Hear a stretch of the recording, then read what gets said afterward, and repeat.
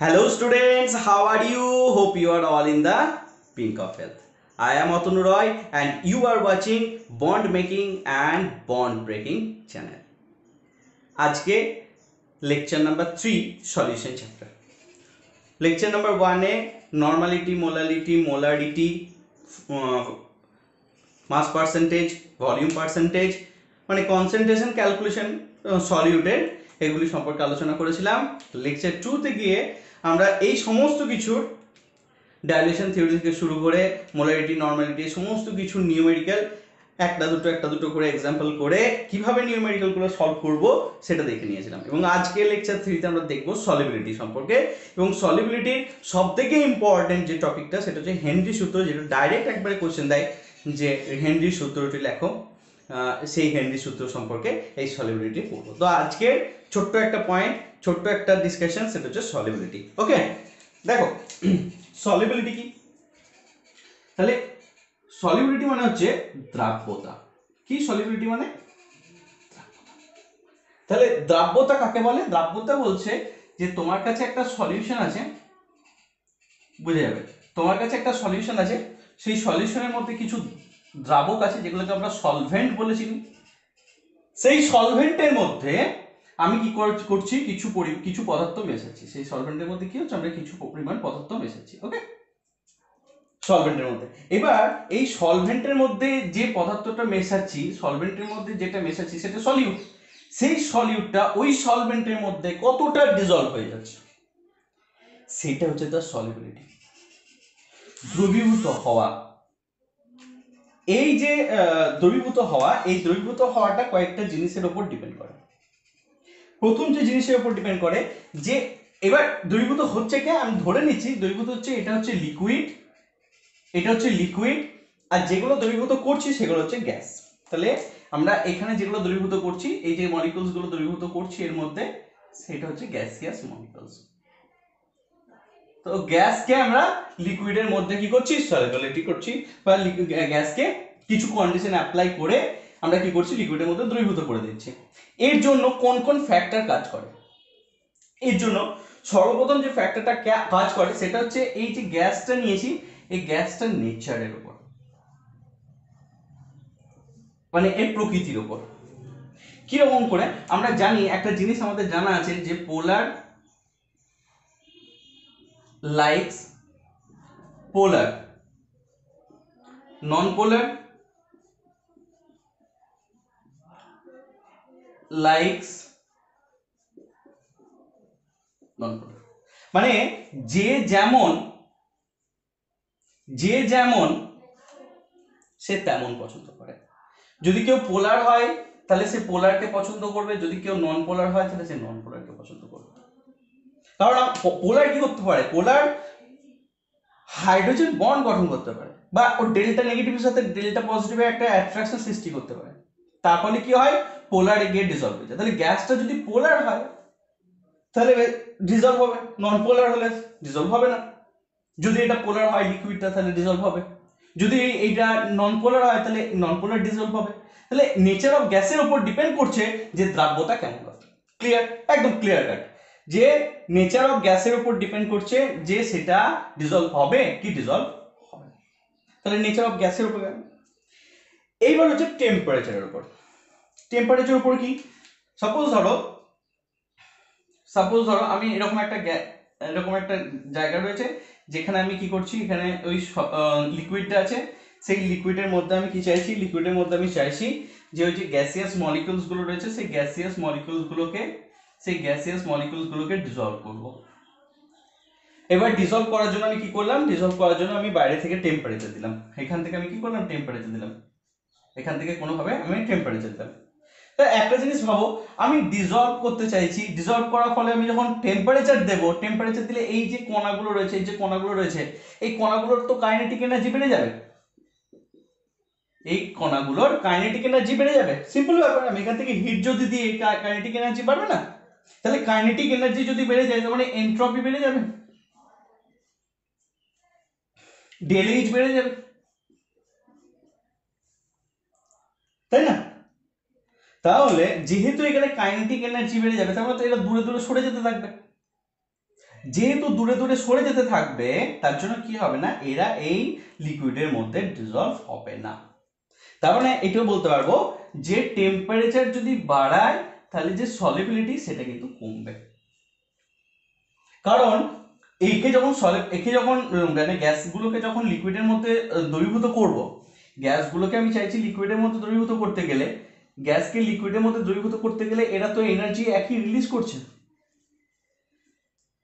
একই এনার্জি এরা রিলিজ করছিল এনার্জি দিচ্ছিল, আর তারপর আমি আবার হিট দিয়ে এনার্জিটিকে বাড়িয়ে দিচ্ছি কাইনেটিক এনার্জিকে বাড়িয়ে দিচ্ছি তো সলিবিলিটি কমবে। তার মানে আমি বলতে পারি যে টেম্পারেচার দেওয়ার সাথে সাথে টেম্পারেচার বাড়ানোর সাথে সাথে এই যে দ্রবণ, এই মানে এই যে সলিবিলিটি সেই সলিবিলিটিটা কমতে থাকবে। বুঝে গেল? আবার দেখো, যেটা আসবে সেটা হচ্ছে প্রেশার যদি প্রেশারের কথা ভাবি, তাহলে দেখো সহজেই বলতে পারব যে এই একটা সলিউশন রয়েছে একটা সলিউশন রয়েছে, এখানে লিকুইড রয়েছে, এখানে লিকুইড আছে। তাই না? এবার এই লিকুইডের মধ্যে কতগুলো গ্যাসিয়াস পার্টিকেলস রয়েছে? এই লিকুইডের মধ্যে কতগুলো গ্যাসিয়াস পার্টিকেলস রয়েছে? সেই গ্যাসিয়াস পার্টিকেলস এর উপর যদি আমি প্রেসার ক্রিয়েট করি, যদি আমি এখান থেকে প্রেসার দিই, অতিরিক্ত পরিমাণে প্রেসার দিই, তবে এখান থেকে আমি একটা প্রেসার দিচ্ছি। ধরো এখান থেকে আমি প্রেসার দিচ্ছি, তাহলে অতিরিক্ত প্রেসার দেওয়ার ফলে with increasing the pressure pressure দেওয়ার ফলে কি হবে? সলিবিলিটি বাড়বে। প্রেসার দেওয়ার ফলে সলিবিলিটি বাড়বে। তাই না? গ্যাসের গ্যাস মানে দেখা যায় কি করতে পারে যেমন ধরো ডুবুরি।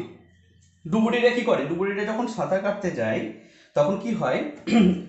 যখন ডুবুরিটা জলের মধ্যে ডুব দেয় তখন জলের মধ্যে যখন যায়, তখন কি প্রেশারটা অনেক বেশি পরিমাণে পড়ে। তার মানে তখন কি হয়? অতিরিক্ত পরিমাণে গ্যাসগুলো তার দেহের মধ্যে ডিজলভ হতে থাকে। এইবার হঠাৎ করে ডুবুরিরা যখন ওই জল থেকে যখন বাইরে বেরিয়ে আসে, তখন কি হয়?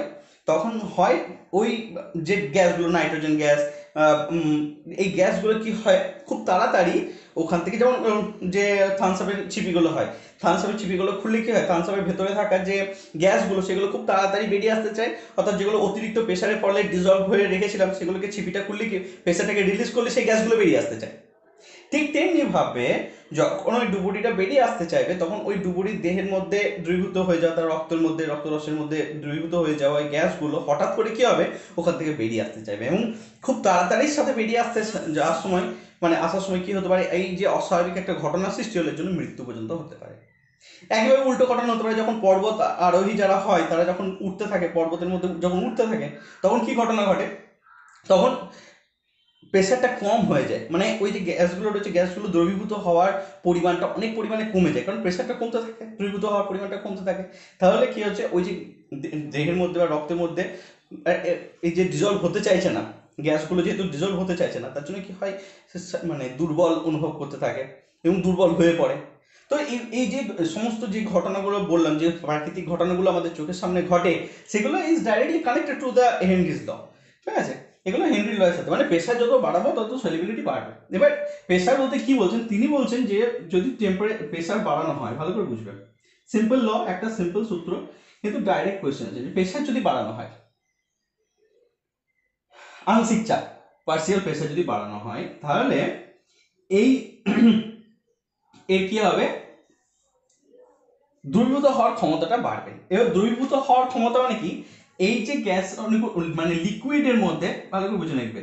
এই লিকুইডের মধ্যে যে গ্যাসগুলো রয়েছে, সেই লিকুইডের মধ্যে যে গ্যাসগুলো সেই গ্যাসগুলো যে মোল ভগ্নাংশ, সেই গ্যাসগুলো মোল ভগ্নাংশ মানে এই লিকুইডের মধ্যে যে গ্যাসগুলো রয়েছে, সেই গ্যাসগুলোর মোল ভগ্নাংশের সাথে প্রেশারটা ডাইরেক্টলি কানেক্টেড মানে এবার মোল ফ্র্যাকশন তো টেম্পারেচার ইন্ডিপেন্ডেন্ট কম্পোনেন্ট টেম্পারেচারের উপর ডিপেন্ড করে না।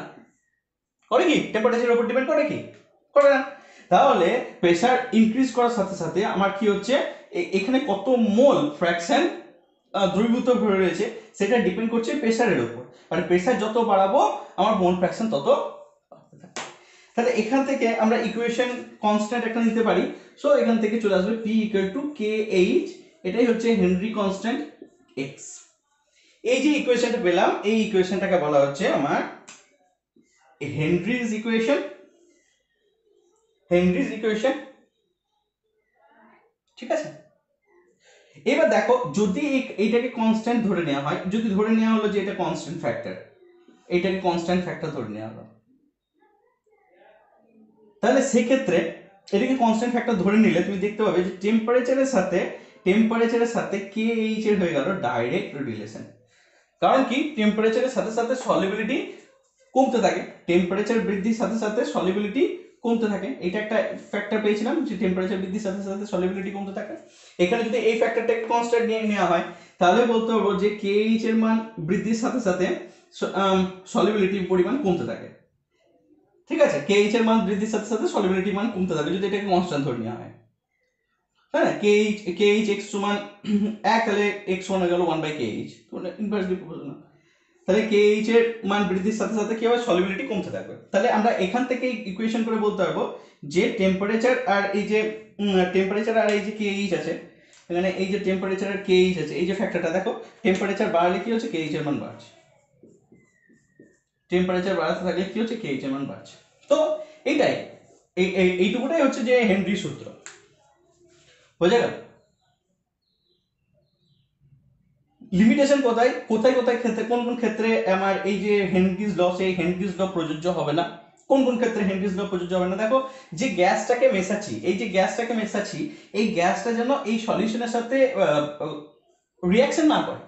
তার মানে যদি রিয়াকশন করে, তাহলে সেক্ষেত্রে কিন্তু আমার সলিবিলিটি মানে হেনরিজ ল প্রযোজ্য হবে না। ঠিক আছে? বেশি পরিমাণ ওখানে যেন দ্রবীভূত না হয়ে যায়, ওখানে যেন সংযোজিত না হয়ে যায়, দ্রবীভূত তো হবে মানে ওখানে যেন কেমিক্যালি ভাবে কোনো রিয়াকশন না করে। এক্ষেত্রে কিন্তু আমার হেনরি সূত্র প্রযোজ্য হয় না। আবার প্রেশার যদি খুব বেশি পরিমাণে হাই হতে থাকে, ঠিক আছে? মানে প্রেশার যদি খুব বেশি পরিমাণে হাই হতে থাকে, কি বললাম? প্রেশার যদি খুব হাই হয় প্রেশার যদি খুব হাই হয়, তাহলে সেক্ষেত্রেও কিন্তু প্রযোজ্য হয় না। আবার টেম্পারেচার যদি খুব লো হয়, তাহলে সেক্ষেত্রেও হেনরি ল প্রযোজ্য হয় না। বুঝে গেল? তাহলে কোথায় কোথায় হেনরি সূত্র প্রযোজ্য হয় না? আমার এই কটা ফ্যাক্টরের উপর হেনরি সূত্র প্রযোজ্য হয় না। কোথায়? আমার রিয়াকশন যেন না হয় গ্যাসগুলো যখন লিকুইডের মধ্যে ডিজলভ হচ্ছে প্রেশার যেন খুব বেশি না হয়ে যায়, খুব হাই না হয়ে যায় টেম্পারেচার যেন খুব লো না হয়ে যায়, এই কটা ক্ষেত্রে ক্ষেত্রে হেনরিজ ল প্রযোজ্য হবে না। তাহলে কোন কোন ক্ষেত্রে হেনরিজ প্রযোজ্য হবে? কোন কোন ফ্যাক্টরের ক্ষেত্রে হেনরিজ প্রযোজ্য হবে? এই কটা কন্ডিশন বাদ দিয়ে বাকি সব ক্ষেত্রে হেনরিজ ল প্রযোজ্য হবে। এবার হলো এই যে কে এইচ আছে, এই কে এইচ এর বৈশিষ্ট্যগুলি কি কি? এই যে কে এইচ দেখছি, সেই কে এইচ এর বৈশিষ্ট্যগুলি কি কি? আমি একটু মুছে দিই।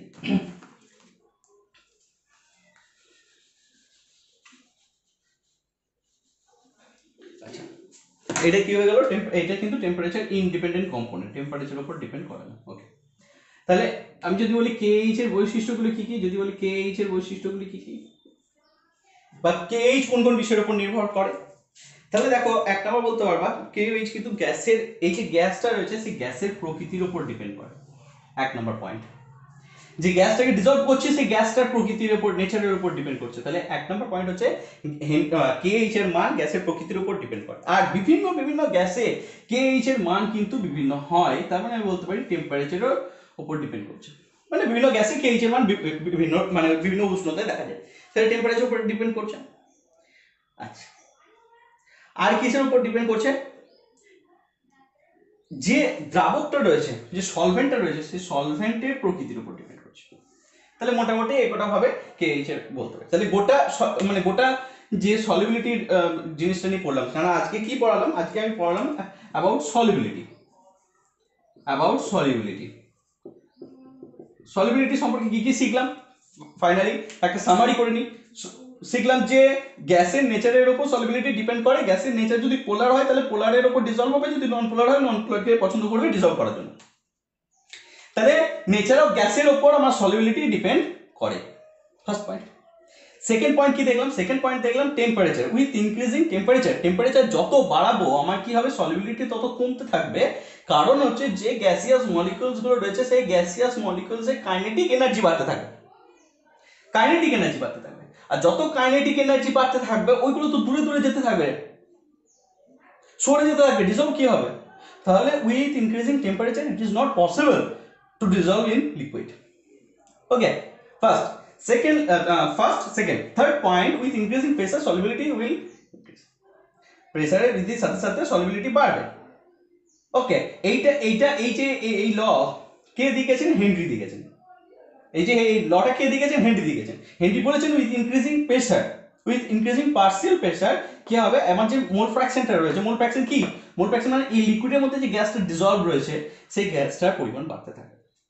মানে সলিবিলিটি বাড়তে থাকে। With increasing pressure solubility will increase partial pressure mole fraction means car mole fraction লিকুইডের মধ্যে গ্যাসের তাহলে এখানে একটা কনস্ট্যান্ট হলো KH KH is called Henry constant এখান থেকে বলতে পারি, যেহেতু টেম্পারেচার সাথে সলিবিলিটির ব্যস্ত সম্পর্ক হ্যাঁ ইনভার্স সম্পর্ক, আবার কেএইচ এর সাথেও দেখছি, আমার যদি একটা পিটা কনস্ট্যান্ট হয়ে যায়, তাহলে কেএইচ এর সাথে এক্সট্রা হচ্ছে, বা সলিবিলিটিটা হচ্ছে ব্যস্ত সম্পর্ক বা ইনভার্স সম্পর্ক, তাহলে টি এর সাথে কেএইচ এর আমার হলো সরল সম্পর্ক। এইবার কোন কোন ক্ষেত্রে হেনরিস ল প্রযোজ্য হবে না? যদি রিয়াকশন হয় গ্যাস গ্যাসগুলো তাহলে সেক্ষেত্রে আমার প্রযোজ্য হবে না। যদি প্রেশার খুব বেশি হয়, সেক্ষেত্রে প্রযোজ্য হবে না। যদি টেম্পারেচার খুব কম হয়, তাহলে সেক্ষেত্রে প্রযোজ্য হবে। তাহলে এই যে হেনরি কনস্ট্যান্ট পেলাম, সেই হেনরি কনস্ট্যান্টে কি কি বৈশিষ্ট্য রয়েছে? একটা হচ্ছে হেনরি কনস্ট্যান্টের মান গ্যাসের নেচারের উপর ডিপেন্ড করে। এক নাম্বার টেম্পারেচারের উপর ডিপেন্ড করে কারণ টেম্পারেচার ভেরিয়েশন হয় কেএইচ এর মানও ভেরিয়েশন হয়।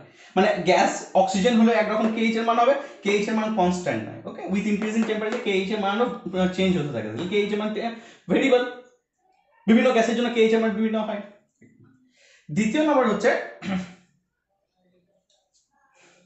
এটা দেখে নিলাম কেএইচ এর মান বৃদ্ধির সাথে সাথে সলিবিলিটির মানও কমতে। এবার দেখো, এই যে ইকুয়েশনটা পাচ্ছি, এই ইকুয়েশনটা y সমান mx এর সাথে কল্পনা করতে পারি।